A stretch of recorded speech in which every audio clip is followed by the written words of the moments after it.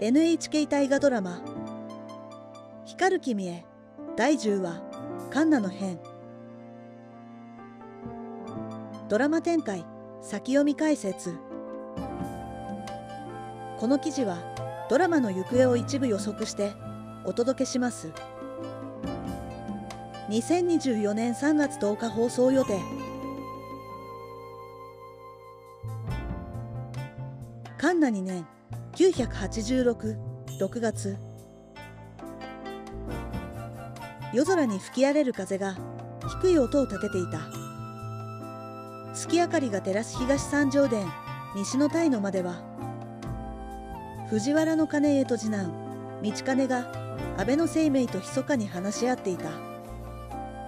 彼らの狙いは火山天皇を出家に追い込んで金家の孫である安人親王を一条天皇として即位させることだった。生命を火山天皇を出家に追い込むにはいつが後期か教えてくれるか。安倍の生命は陸人進化の術を用いて天の気を読み取った。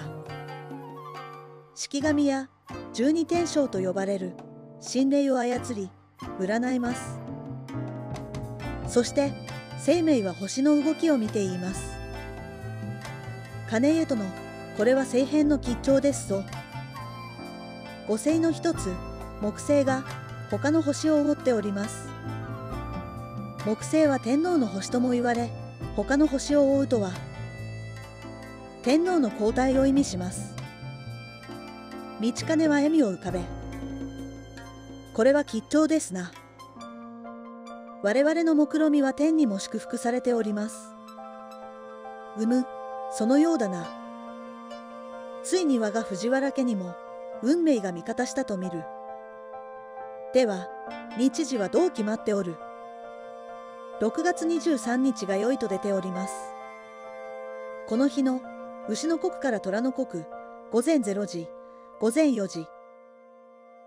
つまり牛の国参りが藤原家にとって運気上昇の時でありこの木を椅子と災いが起こると告げられています。金家は支配を一気に飲み干しその気迫で道金を睨みつけ言います。天下を決する大勝負に出るぞ。そして翌日金家は兄弟といごし藤原道綱を呼び寄せ密談します。金家の顔は冷静で厳しく道高と道綱の顔は緊張と恐れで引きつっている。道金の顔は不敵で皮肉な笑みを浮かべています。火山天皇を密かに代理から連れ出し出家させる。父上ついにご決意されましたか？そうだ火山天皇を連れ出すのはクロードとして天皇に忠誠を誓っている。道金に頼んである。天皇を代理から元慶寺に連れて行きそこで出家させる。道金は静かにうなずきすでに火山天皇には告げております。そこでだ道高と道綱には清涼殿にある三種の神器を皇太子の住まいである行華社に運ばせ代理の門をすべて封鎖してくれ。そして道長はこれを見届けたら火山天皇の太陽関白や苦行たちに告げよう。はい父上。道長は軽く返事をするがその目には不満と哀れみが浮かんでいた。父の野心によって火山天皇が追い落とされることに道長は罪悪感と哀れみを感じていたのです。夏の日差しに照らされる朝藤原道兼は天皇の御所へと赴きます。天皇は崩御した皇后よし子の菩提を弔うため出家を決意していたが叔父義親は天皇の願いを否定していた。火山天皇は悲しみと怒りとをにじませながら我が身はよし子の菩提のために出家せんとする。だがおじ義親はそんな我の願いを。踏みにじろうとしておるのだぞ。道金よ。お前は我が心を分かってくれるな。はい陛下。我も陛下と共に出家する覚悟でおります。そしてよしこ様の霊にとって最も良い日は6月23日であると聞き及びました。この日に共に出家いたしましょう。火山天皇はその言葉に安堵しながら「分かった道金にすべて任せよう」頼んだぞ。道金は天皇の信頼を得て出家させる準備を進めるのだった。ある時藤原の金家は自らの陰謀に加担させた道長を呼び出し厳しい口調で言います。道長よ聞け。もしこの策略が露見したならばお前は何も知らないと言え分かったか。道長は恐縮しながらはい父上決して口外いたしません。道長は金家の目的や手段に疑問を抱きながらも従わざるを得ない立場にあることを悟っていた。わしはなこの策が成功したら道高にわしの後を継がせるつもりだ。だがな失敗したら道長よ。お前にこの藤原家を託すそれを承知しておくがよい。道長は驚きと感動と苦悩とを表情に浮かべながらはい父上のお考え通りに従います。金家は道長の肩をはたき微笑みを浮かべます。だがその微笑みには何か不穏なものが隠されているようにも見えていた。夏の日差しが優しく降り注ぐ中真宙は夏の花がほころぶ小道を歩きながら直秀や道長のことを思っていた。そこで父為時が背負う夏目の家から出てきたのを目にした。為時は真宙に気づくと驚いた顔で声をかけます。おや真宙偶然ではないか。父上。為時はいつもの様子とは違って疲れ果てた顔をしていた。真宙は不安そうに尋ねます。父上元気がない様子ですが。あショウ夏目が病にかかってな。不寿司の言うことには治すことができないというのだ。夏目の最後の時まで見守りたいと思っておったのだ。為時は夏目のことを思うと涙をこぼした。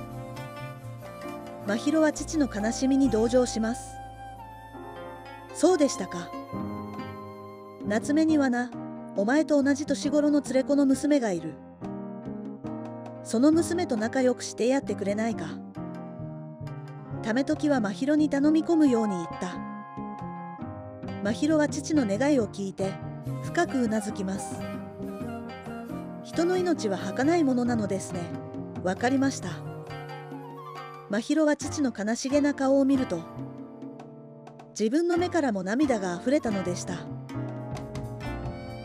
そんなある日真宙のもとへ道長から一通の文が届きます。そこには古今和歌集の一種が記してあったのです。思うには忍ぶることぞ負けにける。色にはいでじと重いしものを。愛しく思う心にはこらえる心が負けてしまいました。恋心は表に出すまいと思っていたのですけれどね。道長は真宙に古今和歌集の歌を送って真宙への恋心をこらえきれないと伝え彼女の心を動かそうとしていました。それに対し真宙は変化ではなく監視を返すのです。すでに自ら心を持って経益となす。なんぞ、血打ちようとして、一人悲しまん。これまで、自分の心を犠牲にしてきたのだからもうくよくよと悲しんでいる場合ではないそして道長の邸宅の書院では道長は真宙から届いたその文漢詩を何度も読み返しますしかし彼の顔は困惑と不満に満ちていたのですこの漢詩はどういう意味だ？彼女は私の気持ちを分かってくれないのか？それとも私に何かを求めているのか？真宙そなたは私に何を言いたいのだ？教えてくれ。道長には真宙の真意がわからないのです。その後も道長は一目会いたいという思いを伝えるため古今和歌集の歌を二度ほど送るのです。死ぬる命生きもやすると心の身玉のばかりアハムと言わなむもう死んでしまうような命ですがもしかすると生き延びるかもしれません。試しても構いません。ほんの少しの時間でも会おうと言葉をかけてくれないでしょうか。命やは何ぞ初湯のあだものをアフにしかえばお叱らなくに。命って何だろうか梅雨のように儚く。頼みにならないものなのか。あなたにお会いできるなら命なんて惜しくはないのに。しかし真宙の返事はいずれも監視でした。道長はその真意を図りかねます。想定外の反応に戸惑う道長は詳細を伏せ藤原の雪成に相談しました。雪成は道長の同僚であり感覚にも通じていました。雪成ちょっと聞いてくれないか。これはある女性からの監視だ。どういう意味だと思う。この女性は私に対してどういう気持ちを持っていると思う。雪成は監視を受け取って読みほほうこれは和歌と監視の違いを考えればわかりますよ。和歌と監視の違い。和歌は人の心を見る者聞く者に託して言葉で表しています。翻って監視は志を言葉に表しています。つまり監視を送るということは送り手は何らかの志を託しているのではないでしょうか。志を託している。ええ。この女性は相手に対して恋心を抱いているのではなく何かを訴えたり伝えたりしたいのではないでしょうか。なるほど。雪なりさすがだ。少しわかった。道長は雪なりに感謝し一人思いを募らせます。真宙は私に恋心を抱いていたのではなく私の野心に疑問を持っていたのではないか。真宙は自分の気持ちを抑えることを悔やみ私に自分の本当の姿を見せようとしたが私はそれを理解できていなかったのではないか。道長はそのことに気がつくのです。翌日東三条殿では明子と道長が話をしています。父上の謀略が裏目に出ればどうなると思っているのか。父上が失脚したら我が一族の行く末はどうなるのか。あなた分かっておいでか。姉上またその話ですか。父の策略が失敗することはありません。明子は源氏との結びつきを強めることを考え源高明の娘明子を道長の妻にしようとしていたのです。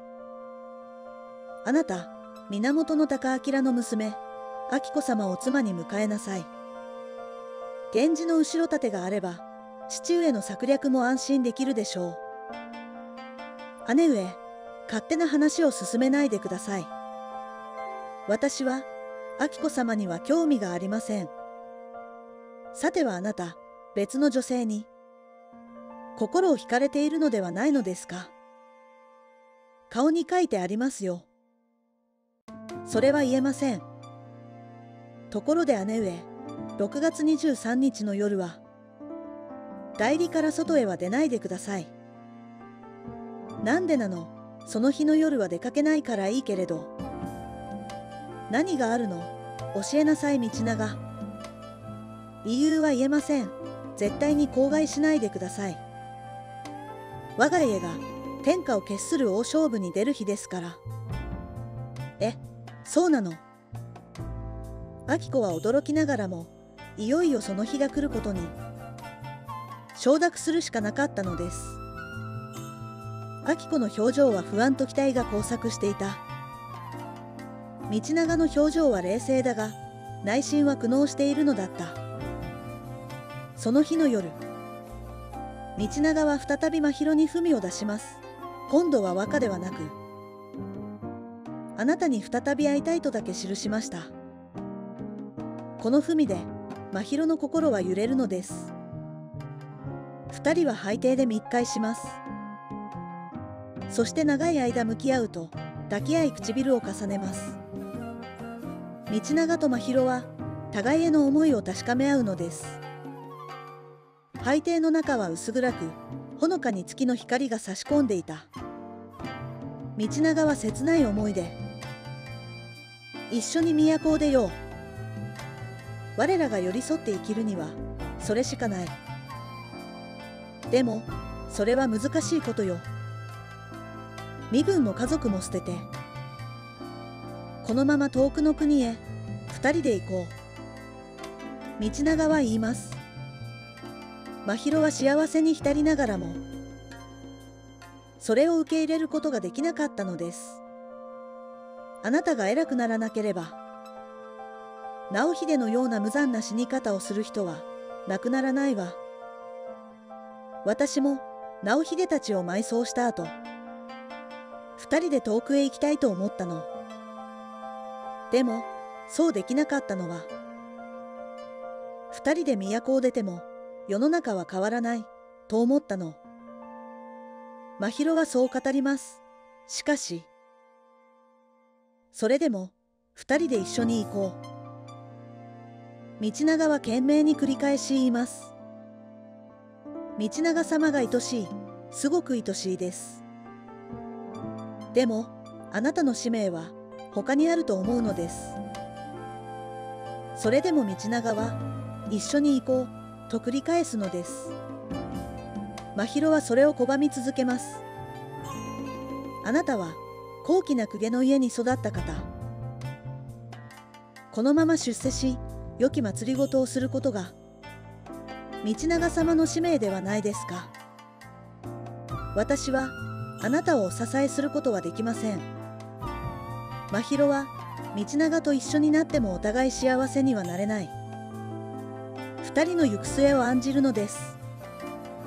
私は都であなたを見つめ続けます。誰よりも愛しい道長様が祭りごとによってこの国を変えていく様を。死ぬまで見つめ続けます。祭りごとは兄が受け継いでいく。私はこの国の行方を変えるほどの男ではない。この気持ち分かってくれないか？道長は強引に真宙を抱き寄せた。その腕の中で真宙の道長への思いがあふれ出します。二人は抱き合いそのまま肌を重ねた。もうこれで最後にしてほしいの。また会おう。これで会えないのは嫌だ。道長の言葉に真宙はぼんやりとした微笑みを返しそれはできないの。夜の代理月明かりが清涼殿の屋根を照らし出す。火山天皇はよし子の死を嘆き出家を決意していた。そこへクロードの道金がやってきます。陛下お待ちしておりました。さあお早くお出ましください。道金我は本当に出家できるのか？はい陛下私もお供いたします。ご安心ください。この上着をお召しになってください。女性に見えるように仕立ててあります。女性に見える。はい、陛下、代理から抜け出すには、目立たない方がよろしいでしょう。そうか、そうであるな。道兼は天皇に女性の上着を羽織らせた。天皇は、よし子の面影を思い浮かべながら、道兼に従うのです。道兼は、天皇を連れて清涼殿からこっそりと出ます。そこには牛車が待っていた。道兼は急ぎ天皇を牛車に乗せます。牛車は元慶寺へと向かった。陛下、もうすぐ元慶寺に着きます。道兼よ、月が明るいな。出家するのが恥ずかしいではないか。陛下、ご心配なく。今、雲が月を隠してくれました。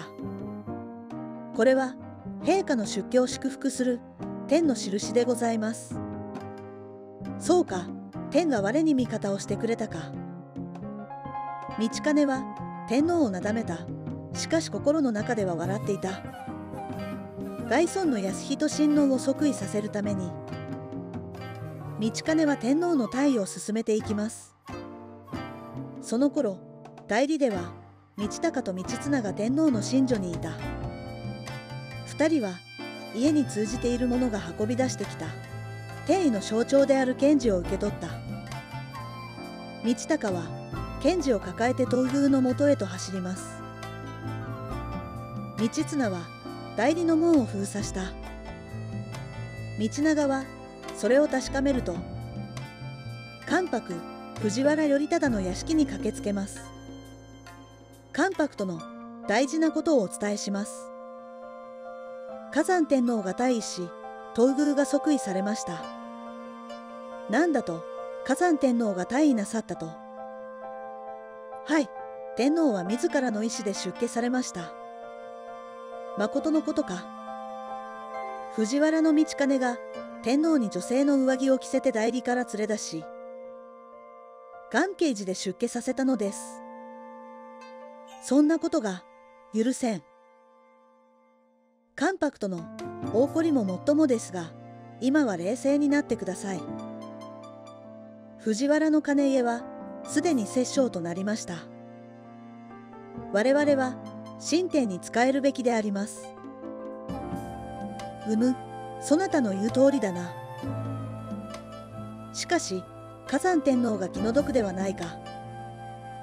はい、火山天皇は若くして退位された悲劇の帝ですそして元慶寺では火山天皇の剃髪が終わった天皇は出家して髪を丸めたのであったそれを見届けた道兼は父の金家に会いに行くと言って寺を出るのです。